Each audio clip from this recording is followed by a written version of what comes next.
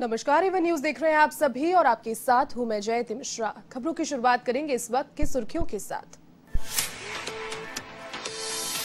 बाबरी मस्जिद विधान केस में आज फैसले का दिन। आडवाणी, मुरली मनोहर जोशी समेत 32 लोग आरोपी। कुल उनचास लोगों के खिलाफ दर्ज हुई थी एफआईआर।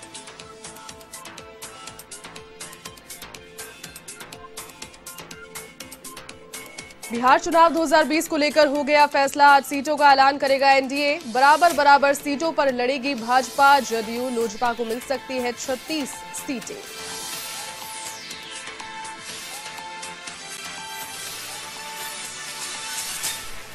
हाथरस गैंगरेप मामला, परिजन पीड़िता का शव घर से ले जाने की बात करते रहे मांग, लेकिन यूपी पुलिस ने रातों रात कराया पीड़िता का अंतिम संस्कार। कांग्रेस और आप ने साधा निशाना।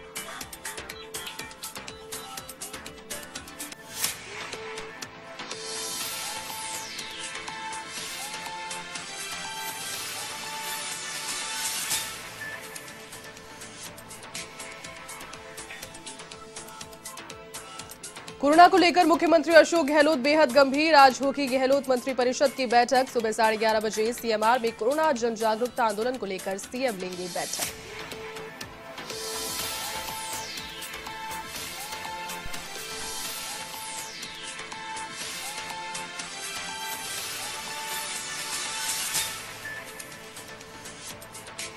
भारत में कोरोना का कहर लगातार जारी। भारत में कोरोना के संक्रमितों की संख्या बासठ लाख के करीब। कोरोना से मरने वालों की संख्या पचानवे हज़ार के पार। तो राजस्थान में कोरोना संक्रमितों का आंकड़ा एक लाख तैंतीस हज़ार के पार।